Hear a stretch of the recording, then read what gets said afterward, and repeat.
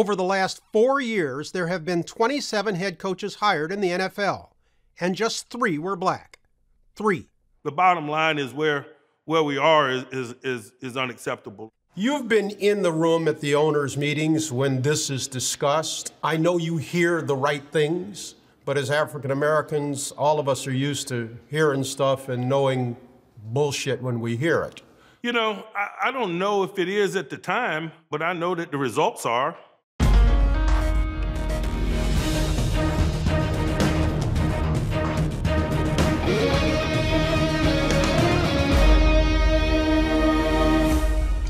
Welcome to the Real Sports Podcast. I'm your host, Max Gershberg. You just heard a clip from Bryant Gumbel's news story on the uphill battle black coaches continue to fight trying to land head coaching jobs in the NFL. Today, the NFL, a league made up of 70% black players, has only three black head coaches. We first covered this issue on Real Sports almost 20 years ago.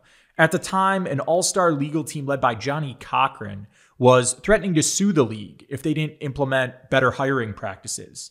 And in all the years since, there's been a lot of talk around this issue, many promises of reform, but very little actual progress. And as you'll hear in Bryant's report shortly, frustration among black coaches continues to mount.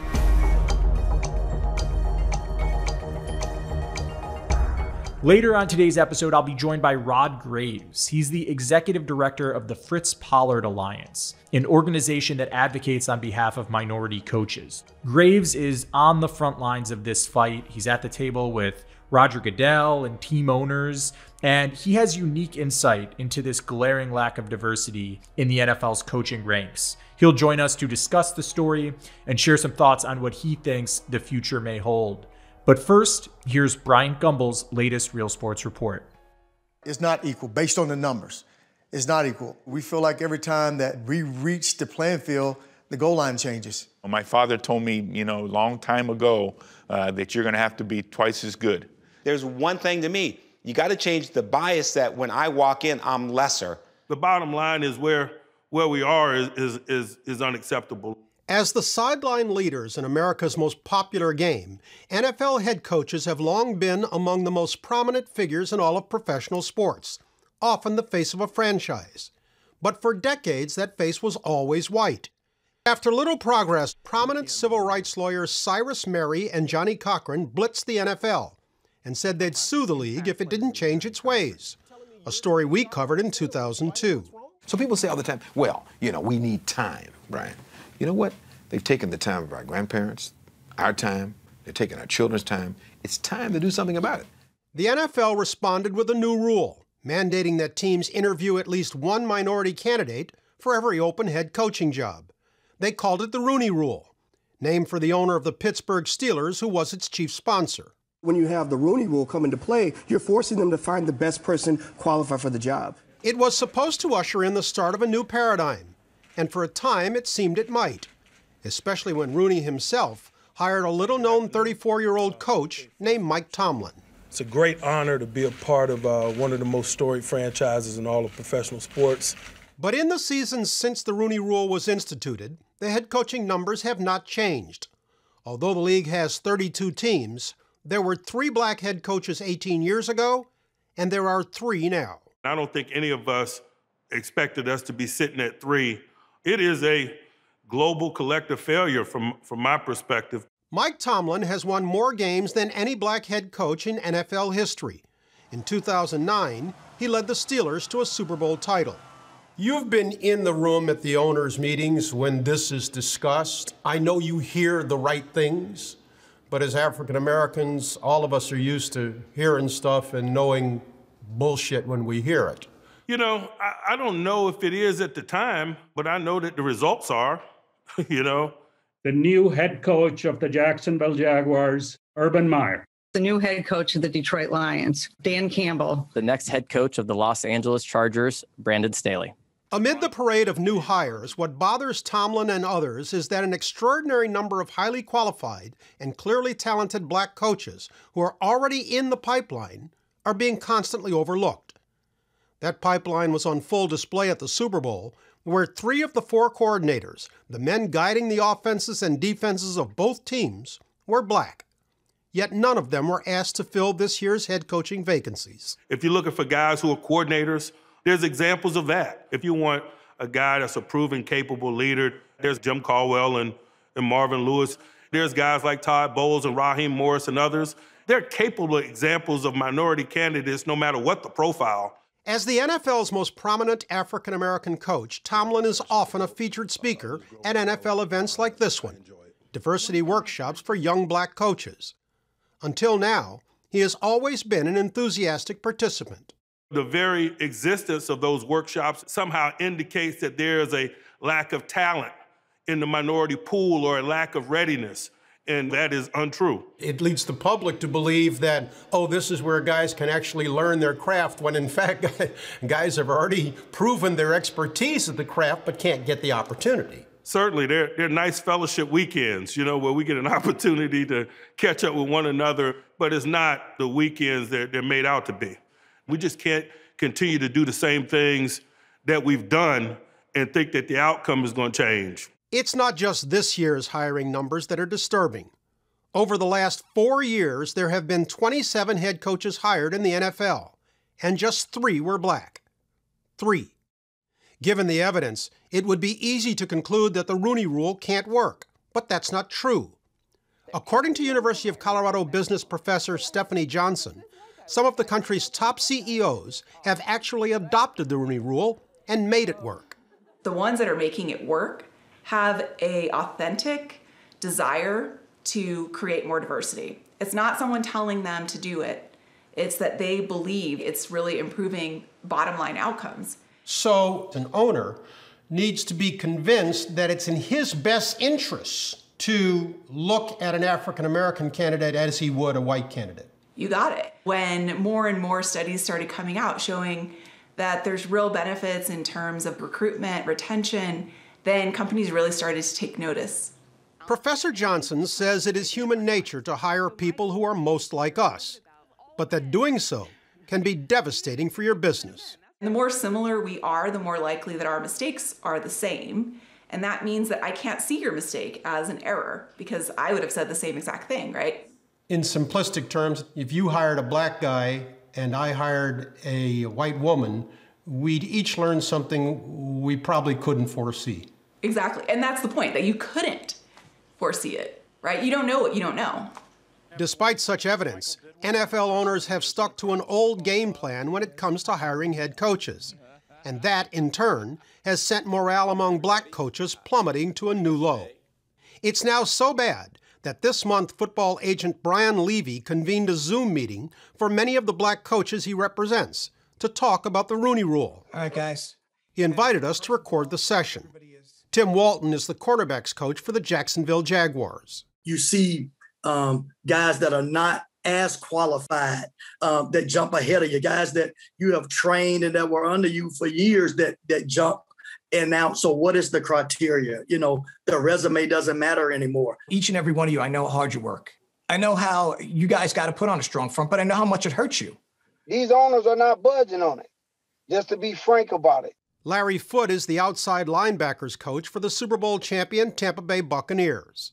As a young coach in this league, you're going to hurt young coaches of color just our drive and passion because we know we topped off.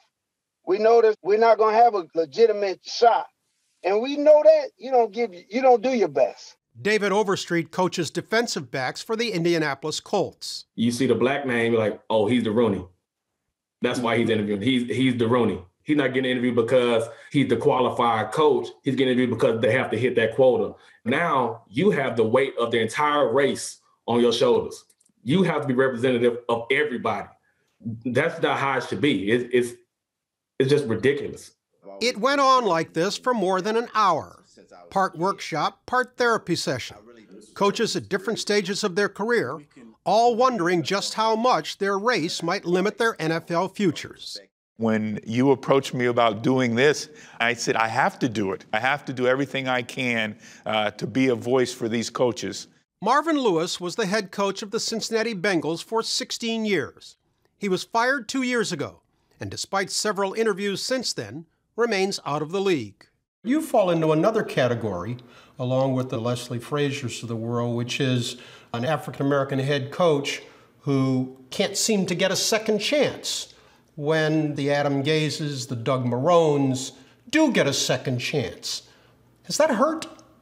It's it's it's it's it's wondersome. I guess that's the word I would use. it makes you question it. You just had Bruce Arians have another opportunity and, and win the Super Bowl. It, it's great, but he's obviously a few years older than even I am. But he gets that second opportunity. Today, Lewis is assistant to the head coach at Arizona State University, working for Herman Edwards, the former head coach of the New York Jets, who 18 years ago simplified for us the reality of NFL hiring. Whoever team you work for, that's the owner's company. You're he can do what he wants. Well, basically, I mean, within the rules. I don't think all of a sudden we can start telling people that own football teams how to run their company. I don't think that'll fly. we wanted to speak with the NFL, but they declined our request for an interview, referring us instead to recent statements Commissioner Roger Goodell made before the Super Bowl. The same kind of statement he's made year after year after year. It wasn't what we expected, and it's not what we expect going forward. Uh, they're not the outcomes we wanted.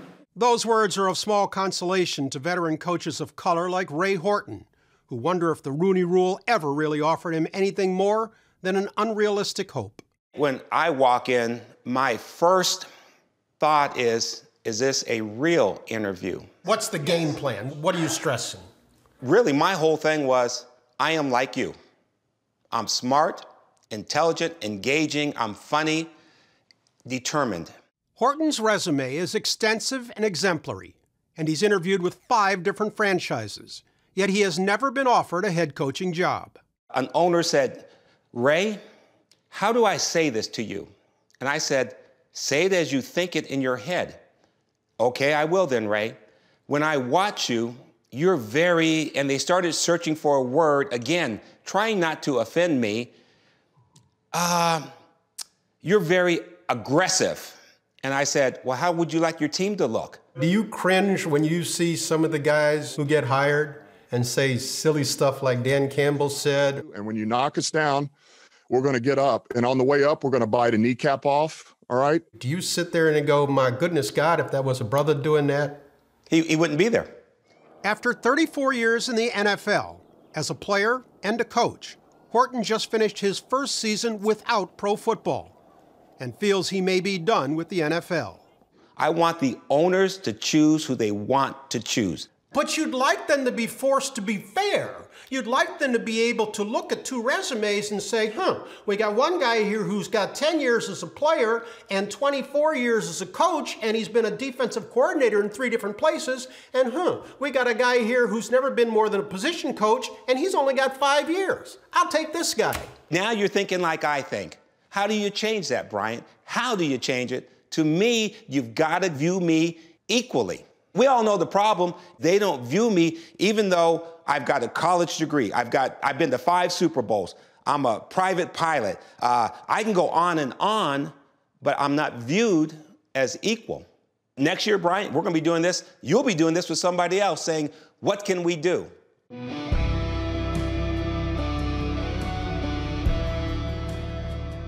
Joining me now is Rod Graves. Rod spent 37 years working in the NFL, and now he's the executive director of the Fritz Pollard Alliance, which means in many ways, Rod is the, the tip of the spear in this fight for more equitable NFL hiring practices.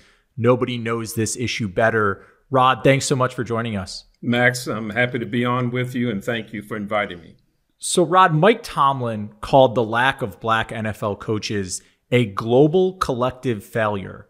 How would you describe the current state of affairs? Well, I agree with Mike uh, the usage of those terms. It has been a failure. Uh, Max, uh, the hiring process within the NFL is a flawed process. And given the fact that the NFL has been around for over 100 years, it's a billion dollar business, I find it today to be unacceptable uh, that we are discussing numbers uh, where we are today with respect to the diversity of leadership.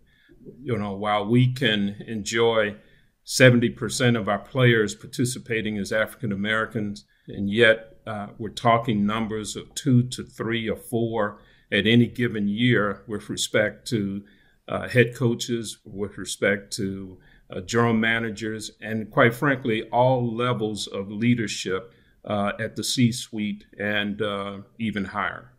So when Roger Goodell says he's more committed than ever to fixing this problem and creating more opportunity for black coaches, you believe him? Oh, I certainly do. I have a great deal of respect uh, for Roger Goodell and where he is in terms of his efforts to to try to level the playing field.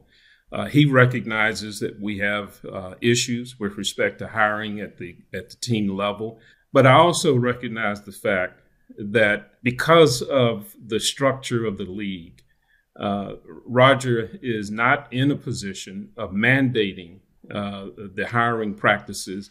That these uh, the solutions are local. The actual hiring takes place at the team level and has to be resolved uh, there as a result the teams, their only mandate is under the Rooney Rule. They have to interview a, a, minority coach. But we, as we heard about in Brian's story, you now have this unintended consequence of the quote unquote Rooney Rule interview, right? Teams just checking the box.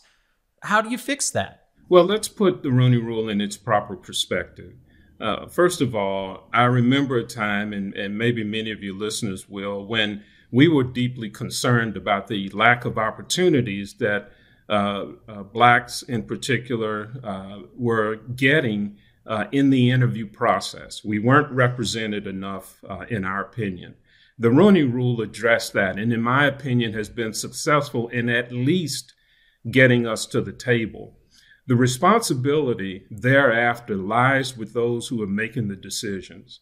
So, Stefanie Johnson, the professor Brian interviewed from Colorado, says money talks and owners aren't going to change how they hire until they think it impacts their bottom line. I know you've suggested the same notion previously. So, how does that happen? How do those financial pressures actually get applied? Well, you know, we, are everything's on the table at this particular point. Uh, I'm sadly at the point of realizing that these issues uh, affecting the lack of diversity in leadership may not be uh, resolvable, if you will, by the league itself. Uh, there may need to be some sort of external pressure put on uh, to really resolve these issues to the level that, that we feel like is necessary. Uh, you know, whether you're talking about legal in, involvement, uh, government involvement, uh, involvement by sponsorship, more pressure by sponsors, those sort of things, those are the things that we understand get the owner's attention. It's history. Uh, whenever those forms of stimuli have been put into effect, uh, there has been a positive response. And we may have to go down that route. So, just to be clear, when you talk about legal efforts, governmental efforts, there's nothing in the works right now that you can tell us about, but you're saying theoretically you might need to push those buttons to force change. We're just exploring at this particular point. You know, we're not looking for these emblematic gains year after year and after each year uh, claim some sort of success. We're, we're really looking for proven programs that provide sustainable results. Uh, and when those things are in place, then I think we we've got something that uh, we think is is worthwhile. But we're a long ways from that. Uh, and so, uh, in order to get there, we may have to create a more serious atmosphere in order to do that. Where does the Players Association come down on this? Where do players come down in their conversations with you? Do they want to be more involved in this discussion moving forward?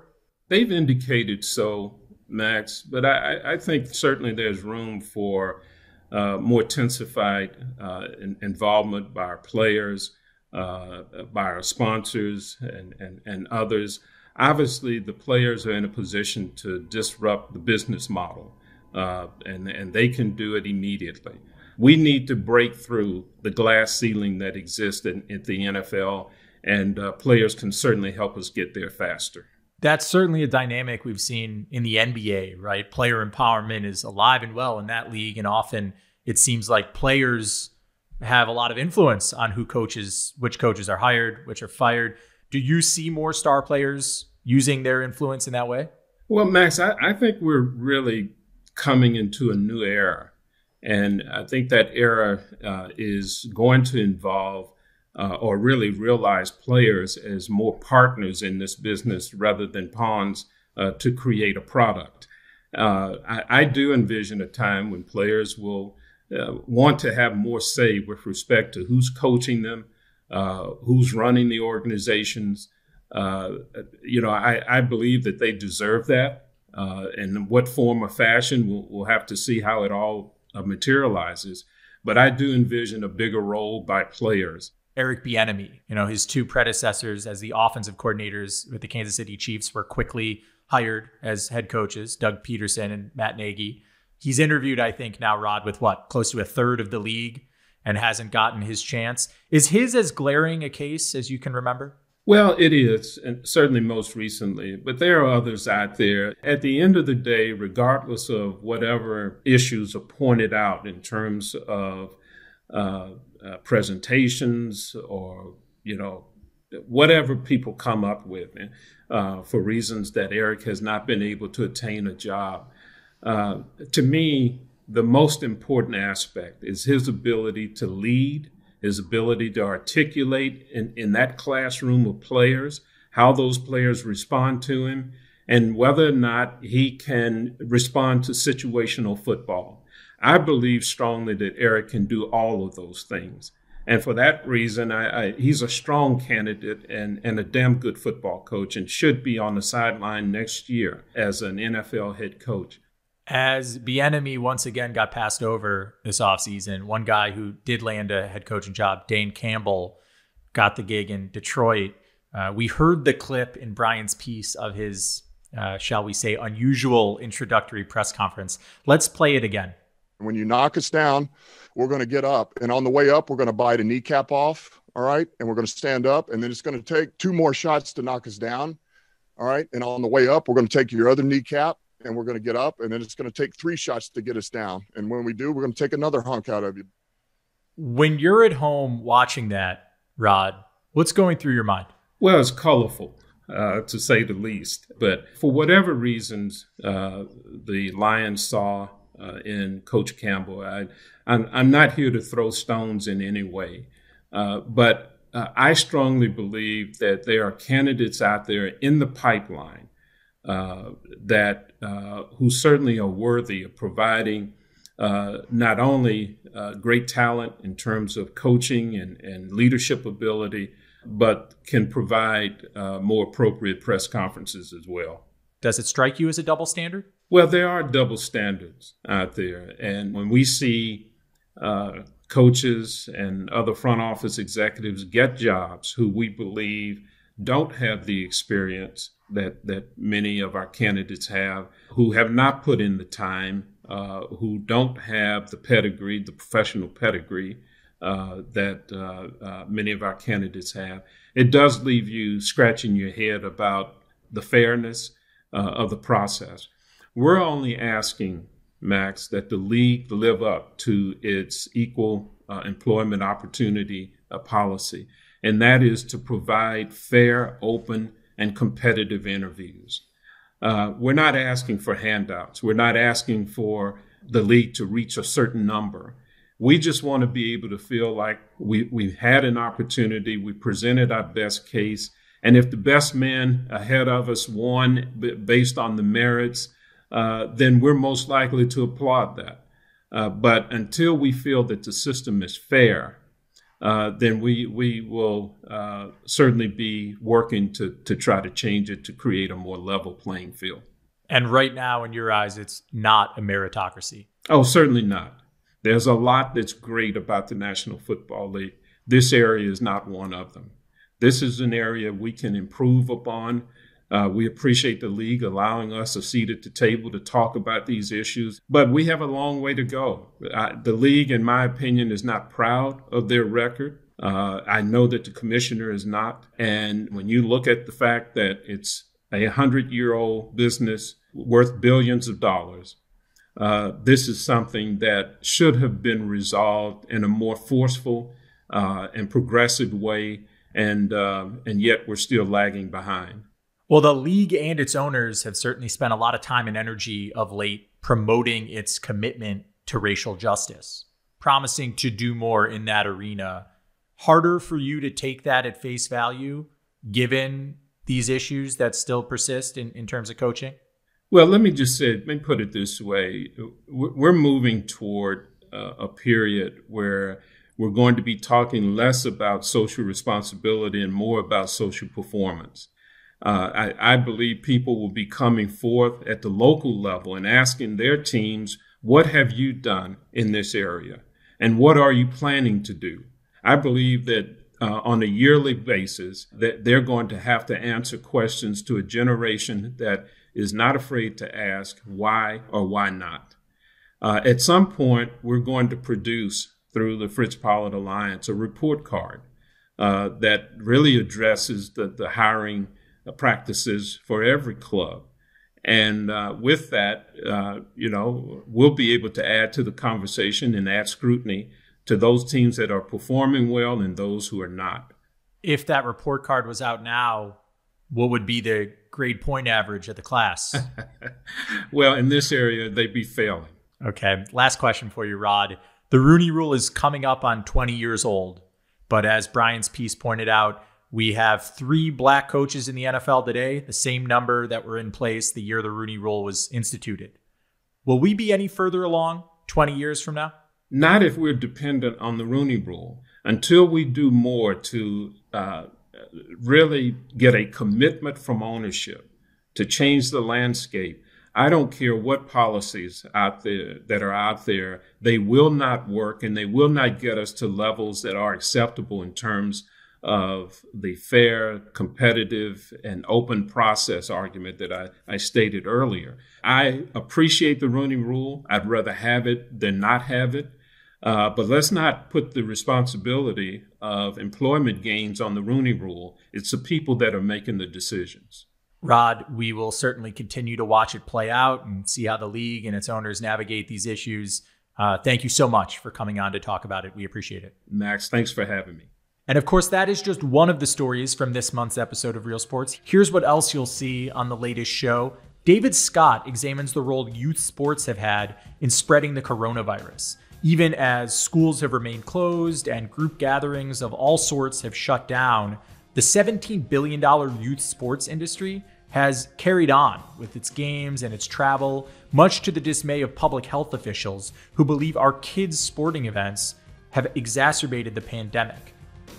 And Jon Frankel travels across the globe to meet the Iceman, extreme athlete Wim Hof, who's become a legend for his cold water immersion and breathing techniques that have allowed him to climb the world's biggest mountains in nothing but shorts, run a marathon in the desert without water, and now some researchers actually believe Wim Hof's methods can have remarkable health benefits too. He's a fascinating guy, and that's a crazy story you won't want to miss.